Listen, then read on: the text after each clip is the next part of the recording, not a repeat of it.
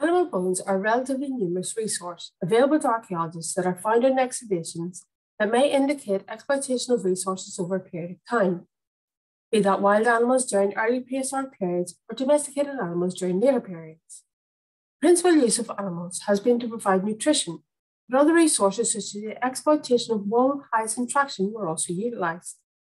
The aim of the zoo archaeologist is to use the evidence contained in the faunal assemblage to ascertain the species present and the various ways the animals were utilised, be that for meat, dairy, and traction at a basic level.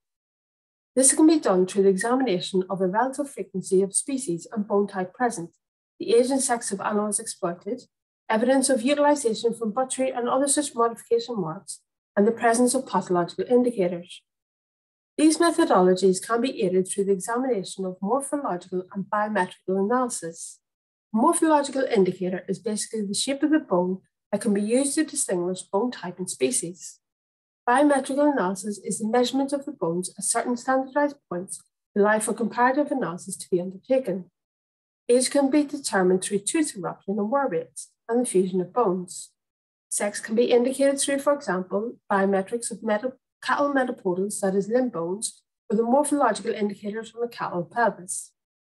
Through the examination of the above-mentioned primary data, zooarchaeologists can determine the likelihood, for example, that through the presence of aged female cattle that dairying was of primary importance, or through the presence of aged sheep remains that wool was utilised as a trading commodity. Zooarchaeology isn't just limited to the main domesticates, that is cattle, sheep, goat, and pigs, as birds, fish, and other mammals provided vital resources. Cats were skinned for the pelts, birds and fish provided meat and eggs during religious fast days when meat from four-legged animals was prohibited. The utilization of animals wasn't limited to just providing meat, but also other products such as milk, cheese, butter, wool, and hides. Bones could be used to manufacture items such as combs, knife handles, gaming pieces, and buttons. Horn sheaths were used in the manufacture of lanterns and drinking vessels, and the hides from animals were used for the manufacture of various leather items such as shoes, saddles, and containers, for example, firefighting buckets. There are simply too many uses to be listed here. The science of zooarchaeology is developing with recent applications of analysis of scientific methods, such as isotopic studies and protein analysis, details of which I'm going to further in due course. It is a developing and evolving aspect of archaeology with many possibilities of study. It has been stated that the Anglo-Normans had a significant impact on the Irish economy and agricultural practices, including the introduction of new faunal species such as fallow deer, rabbits, and pheasants. The expansion of urban centres enabled greater trading networks and hives of industrial activity. As with the early medieval period in Ireland, cattle continued to dominate the faunal assemblages of the medieval period. There is a variance in the relative frequencies between sheep, goat, and pigs. Due to the fact that they're generally only exploited for their meat, were viewed as higher status animals which is reflected in their increased presence on more elite sites, such as castles. Throughout the medieval period, sheep became more frequent, which is taken as an indication of the rise of the wool trade in Ireland. Analysis has shown a trend in the medieval urban towns that older female cattle were recovered, which suggests that the meat from the dairying herds was being supplied to the towns, reflecting that the meat of the cattle was becoming of secondary importance to that of dairying. Linking information from historical records that stated pigs were occasionally prohibited in urban centres is that with the presence of very young pig remains suggests that the pigs were raised in towns during this period. Evidence derived from the data of the age of time of death for sheep suggests that they were utilised for both their meat and wool. There is a noted increase in goat horn cores during this period.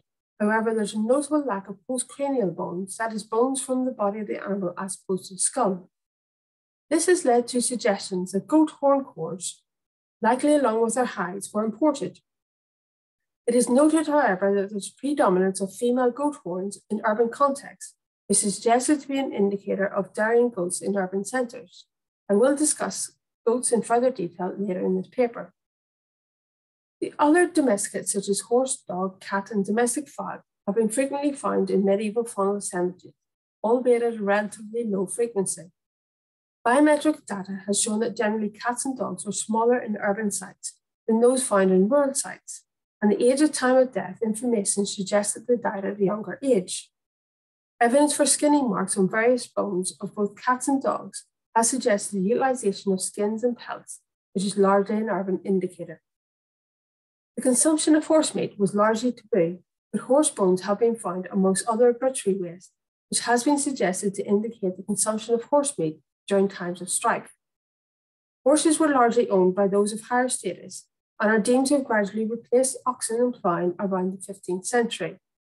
It appears from the faunal assemblages that during the medieval period, areas of the Anglo-Norman occupation saw an increase in the exploitation of domestic fowl. The exploitation of deer, both red and fallow, was limited and was largely confined to those of higher status. My PhD research project is to delve into livestock husbandry of the urban medieval town of and port of Carrickfergus. The main focus will be to ascertain the exploitation of the main domesticates of cattle, sheep, goat, and pigs. This is hoped to give a thorough understanding of how Carrickfergus fed itself throughout the medieval period. Evidence will be gathered from zooarchaeological and isotopic analysis, the study of historical sources, including documents and maps, and a study of the suburban and rural hinterlands surrounding Carrickfergus. Carrickfergus has been stated to be the most excavated town in Ulster due to various development works since the 1970s. As a result, archaeological excavations have enabled a story to be told regarding the development of the town around the castle that was constructed in 1177 by the Anglo-Normans. The development of the town was initially quick, with the founding of St. Nicholas Church shortly after the construction of the castle, and Woodburn Abbey, showing that from the earliest phases of Carrickfergus, it was an important military and ecclesiastical centre and port. In the 1230s, the Franciscan friary was also founded, and the settlements surrounding the castle and the ecclesiastical centres grew. The presence of a mint established in 1250s indicated the growing status and importance of the town at this time. Carrickfergus continued to develop throughout the medieval period, being the major port in Ulster. The importance of Carrickfergus is evident in the production of three maps in the latter half of the 16th century, which can be viewed through the Irish Historic Town Atlas.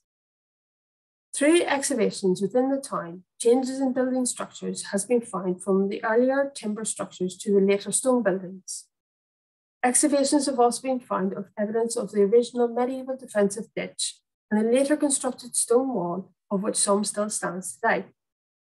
Despite numerous attacks on the town throughout the medieval period and numerous requests for funds, the building of the stone wall wasn't complete till 1615, though a section along the sea was completed in 1600.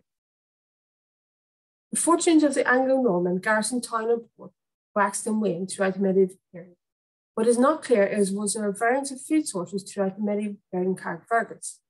Was the town fed by the intermediate hinterlands, or perhaps at times Supplies were brought in from other English health centres in Ireland or further afield. Were the relations between English and Gaelic populations at a level of where there was trade on a regular basis? Or perhaps a combination of all these hypotheses.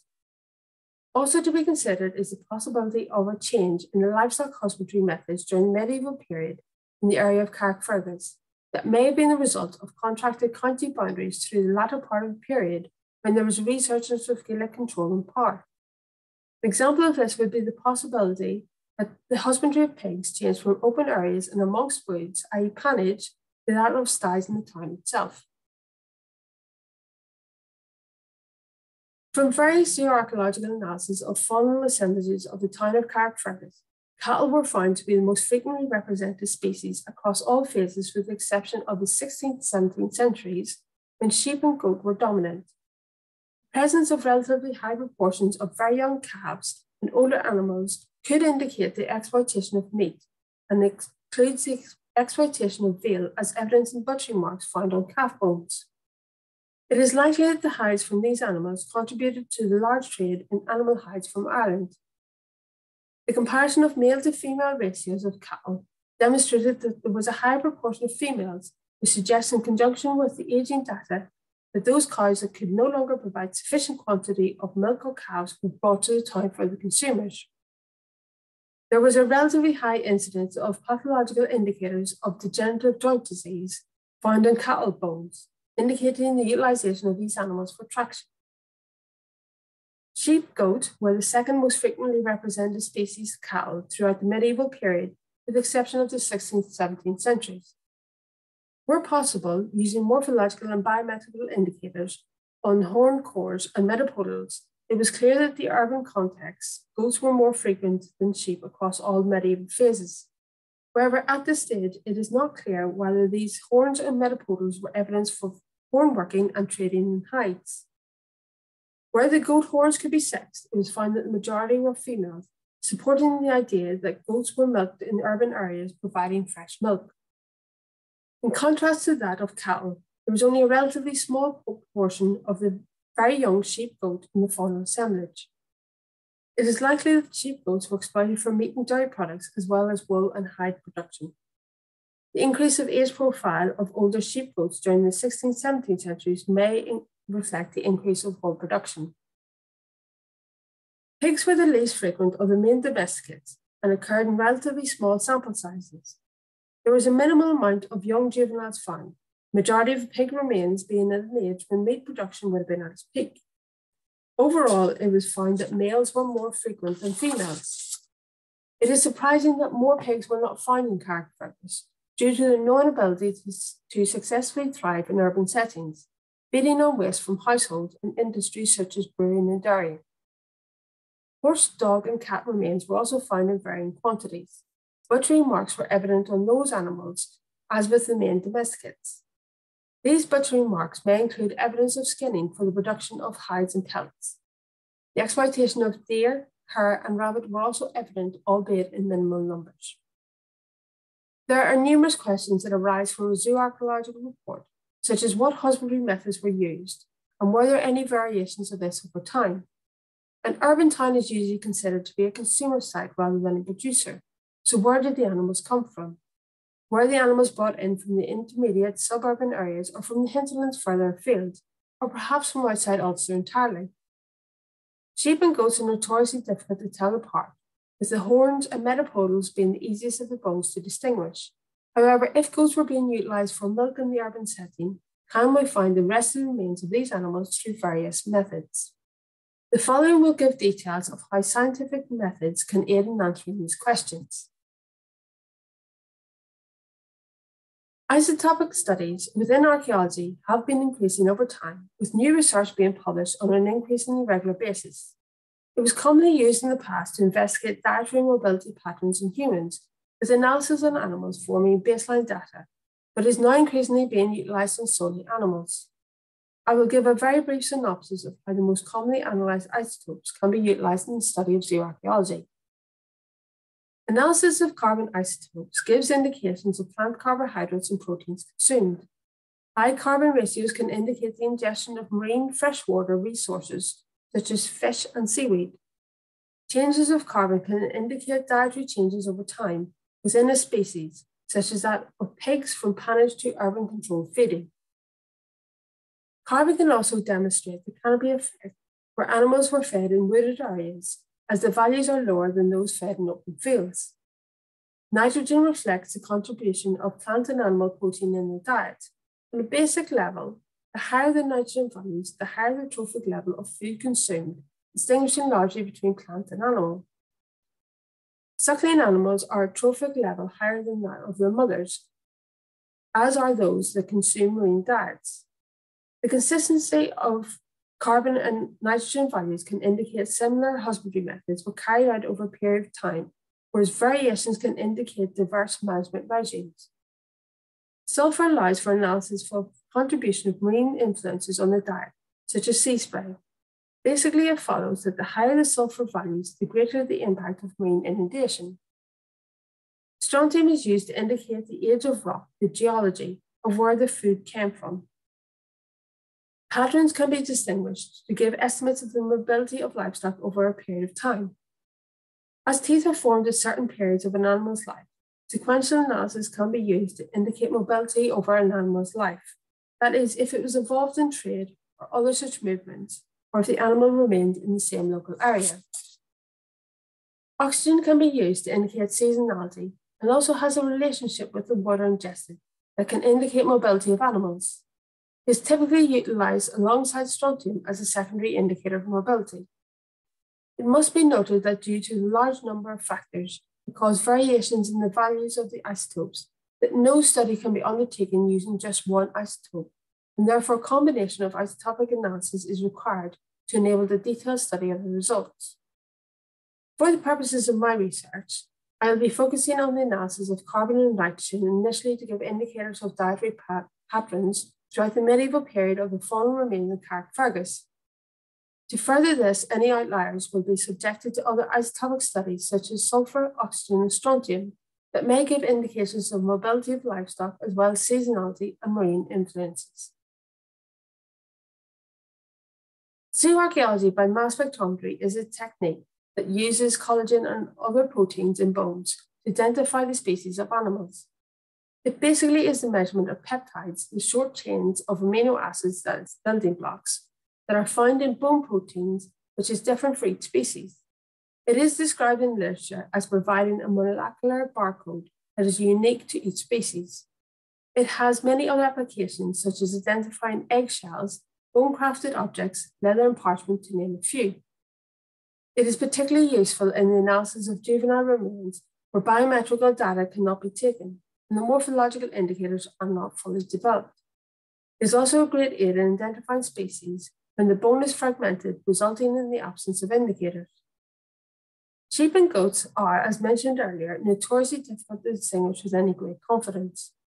This leads to problems in distinguishing husbandry methods, and it is known that these vary between the two species. As mentioned earlier at the beginning of this paper, there is evidence for goats within the Carrickfergus faunal assemblages. However, what the presence of these remains can actually be interpreted as is difficult, given the standard methods of distinguishing between the species is generally limited to a couple of bones. As a result, I'm hoping to use in combination with morphological and biometrical analysis, the scientific method of ZooMS to aid in the distinction between the two species. This will hopefully aid in answering the question regarding the role of goats in urban centres, such as Carrickfergus during the medieval period. This has been a whistle-stop paper on zooarchaeology using medieval Carrickfergus as a case study. There is so much to be studied in zooarchaeology in Ireland, and with scientific techniques such as that as isotopes and ZooMS that are available to us, there are so many questions that we'll hopefully be able to answer as highlighted in this paper. Zooarchaeology is one of the many facets of archaeology that can aid in the study of the past. I've only scratched the surface in this paper, but I hope I've given an indication of some of the different aspects of zooarchaeology. It is an amazing time to be involved in zooarchaeology as the potential areas of study are almost endless. Thank you for listening.